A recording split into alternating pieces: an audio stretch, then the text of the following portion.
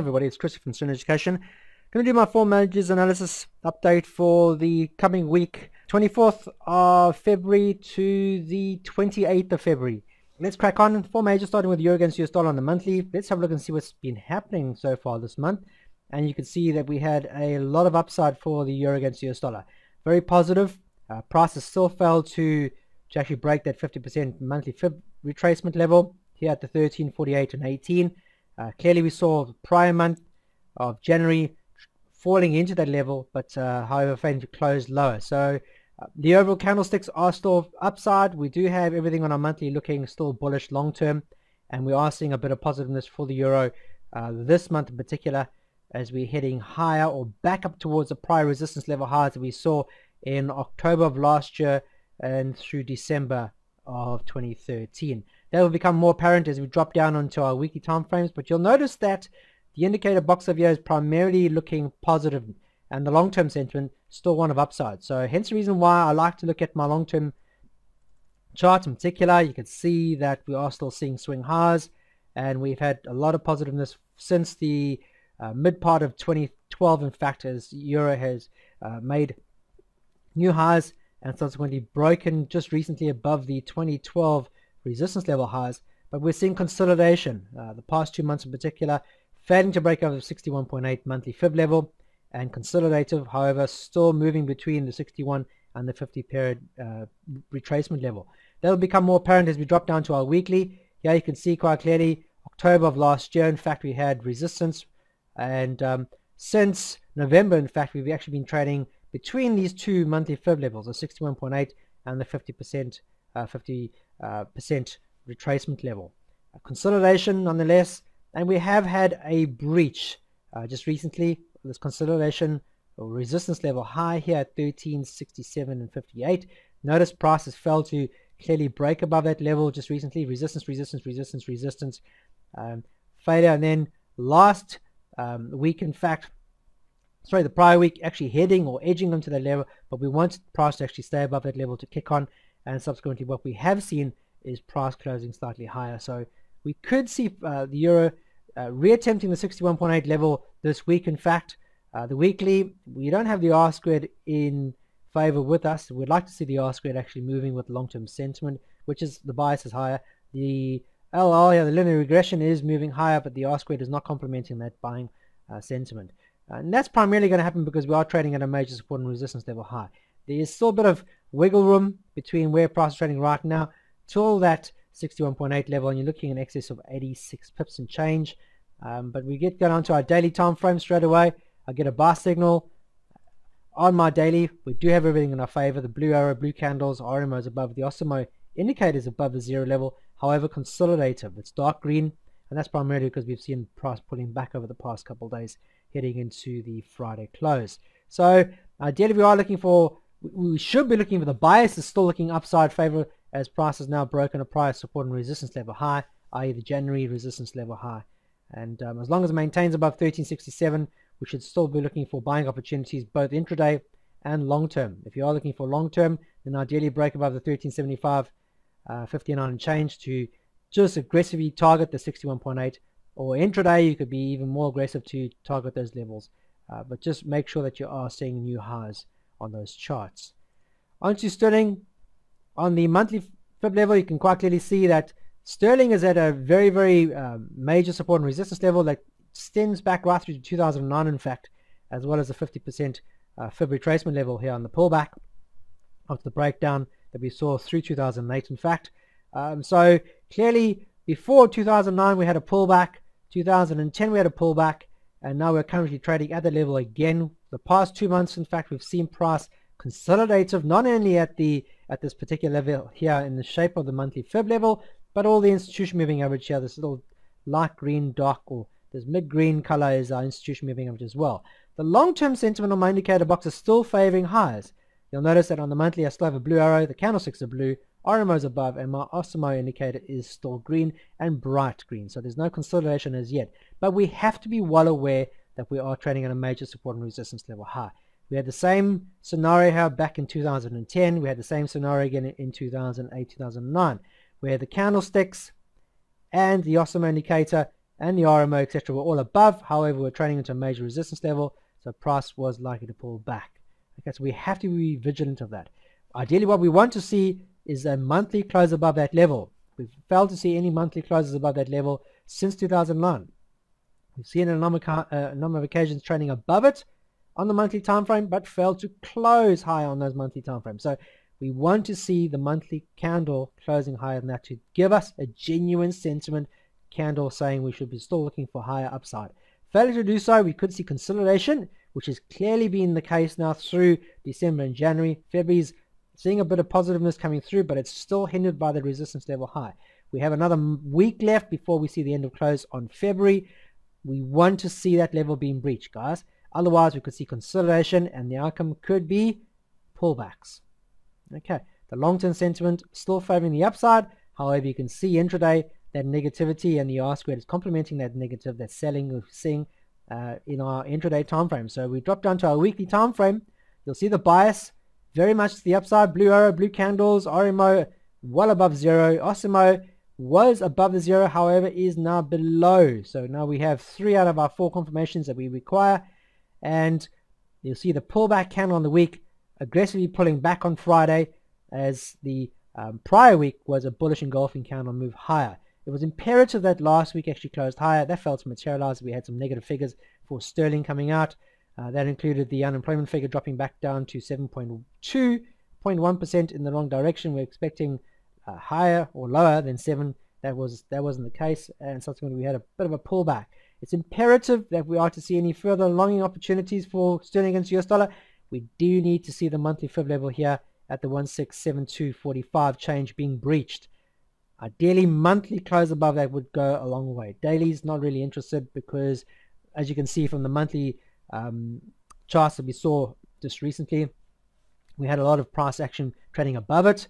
However, it failed to close above that level on the monthly, and therefore we saw further consolidation and the outcome turned negative. So here, clearly need to see the end of month closing above the 50% in order to look for longs. Failure to do so, we see more consolidation here. Failure to do close above that, we will see consolidation and the outcome will then start to look more negative, i.e. pullbacks. And there are one or two ranges or areas where it could clearly move to. Okay, there again, suffice to see that we are seeing negativity in today. We have to be well aware of that. Uh, on the daily, we do get a buy signal on my daily. Everything's clearly in my favor. However, we're still trading below the monthly fib level. You can see quite clearly we had a pullback, and the pullback is now testing the prior resistance level highs that we saw in January of this year as well as the December resistance level highs. So consolidation above here is a paramount must for this week coming up. But if it fails to stay above that level, then we could see a, a, a greater pullback, consolidation pullback, and then we could be looking in excess of roughly around the 1633 in change before we see the monthly fib level here at 38.2 being our next potential target to the downside, which would also complement our institution moving average. So it's imperative Price needs to consolidate near term to see any further upside movement on the particular pair. US dollar Swiss franc. Notice candlesticks still are red. We have had a major consolidation that happened since 2011, but since 2011 moves higher, since uh, the 2012-2013 price has been consolidated. We haven't seen any new highs, especially above the 61.8 level on the monthly fib level, and subsequently prices still trading negative. So we're seeing no new highs, so therefore we can make new lows, and that's exactly what's been happening. Near term, however, we've seen consolidation at the 38.2 monthly fib level. Support in October, um, then again through um, November, December, January, a lot of consolidation, a lot of indecision candles, very small wicks, but you'll notice we're not making new highs, we're making new lows, and this month, in fact, is trading back again into that support level at the 38.2 monthly fib level. So imperative, you notice the arrow we have is red, monthly candles are red, the RMO is clearly below, has not been above the zero level since 21, 2001, so a long, long, long time ago. So we're still trading well below that, that zero level, and the OSIMO indicator is below as well. So we do have a clear selling opportunity on our monthly, but we have failed to see a close lower than that 38.2 level. So we're looking for a close lower. That would then generally tell us we should be looking to the 23.6 level, which is a healthy 630 odd pips to the downside. So clearly wait for the end of this month, give us a true signal. If it closes lower, then enter long, short towards, sorry, short to that uh, 23.6 at least. That should be your long-term goal because we are trading in the direction of long-term trend and the long-term trend is negative. So you shouldn't be looking for buying opportunities. If price fails to close lower than the 38.2 yet again, then overall sentiment is going to start favoring the US dollar against the Swiss franc. If it fails to find the momentum to drop lower to, to, to break low, then people are going to get tired of sitting there, moving sideways, not getting any profit. They're going to start thinking, well, I'm going to close my position. I'm going to find something else that's moving somewhere else, or the fundamentals could be telling a totally different story. And then we'll look for further consolidation, and the outcome could be then back towards the 50% retracement level we just come from. And that is roughly, if you look from the 38 back to the 50, you're looking in excess of 523 pips. Last bit of the day, US dollar Japanese yen monthly fib. Clearly seeing on the, the, the past two months resistance at the 61.8 level. Price has consolidated there, and we've had a tweezer top formation because the last month bearish engulfing the December period at a major support and resistance level high, which also is the institution moving average high, and that constitutes to a tweezer top. But we want to see a confirmation candle ideally back below the 50% level, would then look for a major consolidation or pullback and the 38.2, the 23, etc. and back towards our 2011 lows would be the next potential trade. Notice the candlesticks, however, are still blue. This one over here, long-term sentiment is positive, but we're seeing a lot more negativity creeping into the shape of things. And as long as we're not seeing any new highs, the ultimate um, setup is likely to be consolidated with a likelihood for long-term pullbacks. So drop down to our weekly time frame. You'll notice on our weekly there's more negativity than, than positiveness on here. We still have the RMO and the institution moving average working together, so it's still long-term trend is higher. However, we're seeing a lot of negativity on other ones, which is telling we're seeing consolidation. And if you look at the actual three weeks in particular, price has failed to do nothing. Take the two weeks prior to that, the start of uh, January, in fact, you'll notice that we had a spinning top and the, the week prior we also had a bearish engulfing candle so price is consolidative and has been consolidative for the best part of 2014 so here we want to see ideally a move higher because the candlesticks are still telling we should be looking for long-term sentiment highs. However we do have a red arrow. The candlesticks are still blue. RMO is still above and our OSMO is below. So we have two against two which gives you a no trade signal. So here the candlesticks are still positive. So therefore, my long-term sentiment is still looking for buying opportunities. But if you see a buying opportunity, I need to see price closing above the prior resistance level high. If you look on the weekly, that resistance level high is roughly around about the 102.61. So when I drop down to my daily time frame, price has got to be making new swing highs in order to be positive. Swing lows means we are negative. Okay, so that's the importance of knowing where your long-term support and resistance levels are when your, your trend direction is, and you can see quite clearly we've had swing lows since then.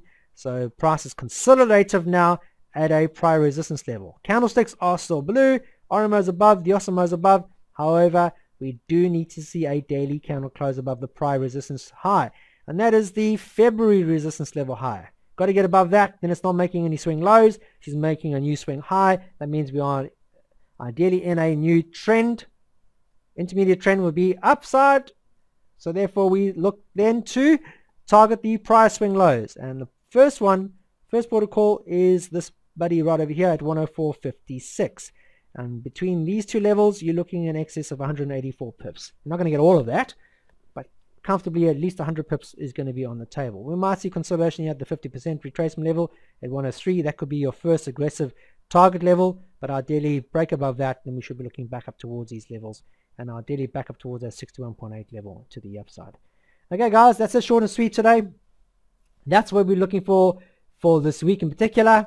Failure to see a break above the US dollar, uh, this particular resistance level here, then price could revert back towards these prior lows we come from. Okay, so it's imperative that the US dollar breaks breaches this level in order to look the US dollar long. If we fail to see that happening, we could see further resistance here and then the US dollar short for the remainder of this week. Okay, fundamentals, obviously very, very important. Please look to see if there's any major news announcements this week that's likely to factor in on any of the prices or pairs that you're looking at. Very, very important. Look to see if there's any bank holidays or inflation reports, GDP. I see that for Wednesday, the 26th, we have GDP quarter and quarter figures, or second estimated GDP quarter and quarter figures for sterling, in fact. Uh, we have prelim business investment quarter and quarter figures. Uh, we have CPI year on year figures for euro, very, very important. We have the consumer confidence on Tuesday for the US markets. Uh, we have new home sales figures on Wednesday for the US market. Uh, new, we have trade balance figures for New Zealand on Wednesday. Uh, Thursday we have the uh, core durable goods month-to-month figures, unemployment claims for the US markets. There's a lot of news, guys, so please be well aware of these levels or these fundamental news announcements if you are trading. Don't trade if you are don't look to trade if you're looking at a particular pair and these news announcements are likely to come out. There's likely to be a lot of volatility leading up to and after the news announcement is made. Speculation is what we call it. So very, very important. Rather be well aware of these, these news announcements and either, if you are in any trades, be well of them so you can move your stops up nice and tight. Or if you are looking to trade something, don't trade around that news announcement. Rather wait for the market to digest that information and then see what if price is moving in the direction of the long-term uh, trend to then gain a position. Okay, guys, short and sweet. I should be on on and off during the course of this week with our students. Um, hope this has been of help to you. But otherwise, other than that, keep it simple. Please follow the rules of any particular trading strategy that you are utilizing. Back it up again with very, very strong money management rules. And I wish you all the best. Until then, you guys trade serenely.